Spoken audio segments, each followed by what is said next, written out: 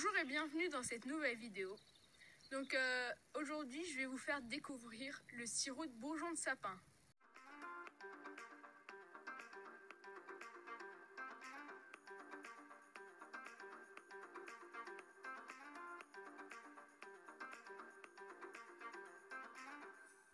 Donc euh, voici les bourgeons de sapin. Ils sont très faciles à reconnaître vu que c'est un vert euh, très clair, un joli vert de printemps. Et donc c'est aussi une partie qui ne pique pas, pas comme les, les épines bah, vieilles, on va dire. Et donc nous là, ça c'est à peu près la bonne taille. Et la, la saison où il va y avoir les bourgeons de sapin. C'est à peu près fin mai, euh, début juin. Donc euh, ça dépend aussi euh, de, de l'altitude et des températures qu'il y a. Donc ici par exemple, cueillez plutôt les bourgeons sur des grands arbres et pas sur toujours le même. Par exemple, là il y a des tout petits arbres et ça va énormément les fragiliser si on leur enlève bah, des nouvelles parties de leurs branches. Et donc euh, prenez-en euh, à plusieurs arbres pour euh, ne pas trop les fragiliser.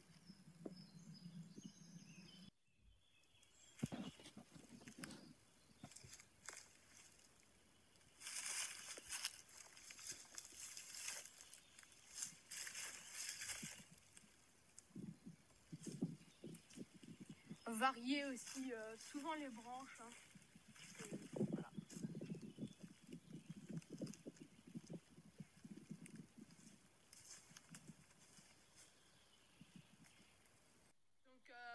notre récolte. On a euh, à peu près 200 euh, grammes. Voilà. Donc euh, dès que vous avez fini de récolter les bourgeons de sapin, vous allez les mettre dans un petit saladier. Il faudra les rincer vite fait. Mais vraiment, rincer vraiment rapidement, vu qu'en fait, il reste un peu d'arôme sur les, sur, les épines.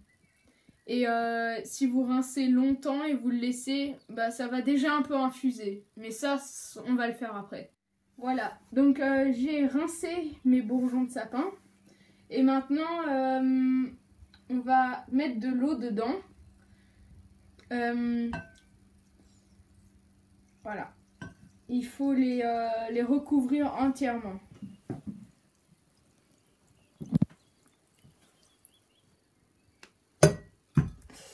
Voilà. Là, ça devrait être bon. Euh, j'ai oublié de préciser avant euh, les bourgeons de sapin, c'est mieux euh, de les cueillir quand il fait chaud. Parce qu'en fait, et il y a du soleil, parce qu'en fait, les bourgeons, ils vont s'imbiber de sève quand il y a du soleil, mais pas quand il pleut ou il fait, enfin, il fait pas beau. Voilà. Et donc, ça donnera un peu plus de goût à votre sirop. Donc voilà, vous avez recouvert tous vos bourgeons avec de l'eau. Et vous allez couper un citron en deux et mettre le jus de la moitié d'un citron dedans.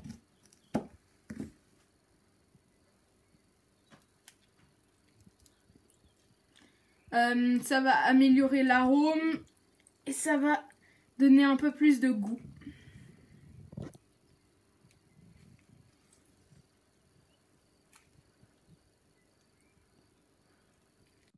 Donc maintenant, vous allez le faire euh, infuser pendant 24 heures dans un endroit plutôt frais.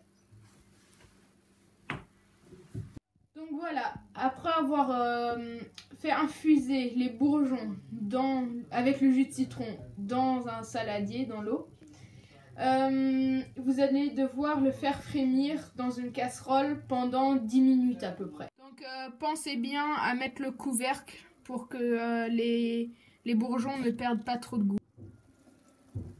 Donc voilà, euh, nos bourgeons, ils ont perdu énormément de couleur. Et c'est bizarre vu que bah, le sirop, il n'est pas très coloré, mais on voit un peu de... En fait, c'est la résine qui colore euh, bah. Voilà. Donc euh, maintenant, il faut filtrer le tout pour après pouvoir ajouter le sucre. Donc euh, maintenant, je vais filtrer le tout. Voilà.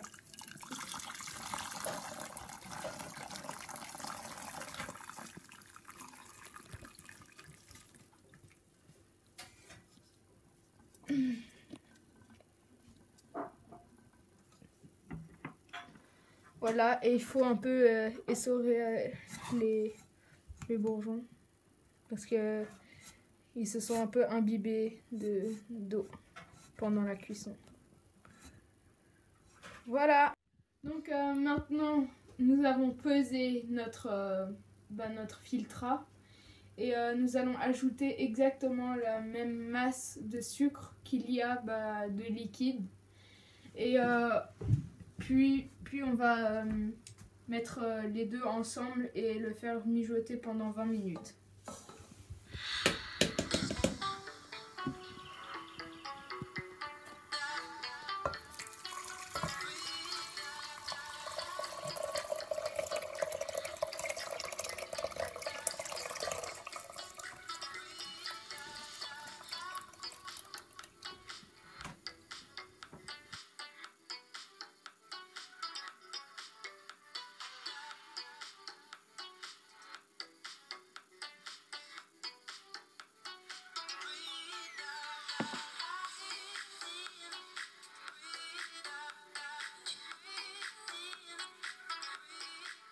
Avant de mettre le sirop dans la bouteille, n'oubliez pas de stériliser. Donc en fait, stériliser, c'est on met de l'eau chaude dans la bouteille pour en fait tuer tous les microbes pour euh, pour qu'il n'y ait plus pas de moisis ou qu'il n'y ait pas de bactéries qui se forment dedans.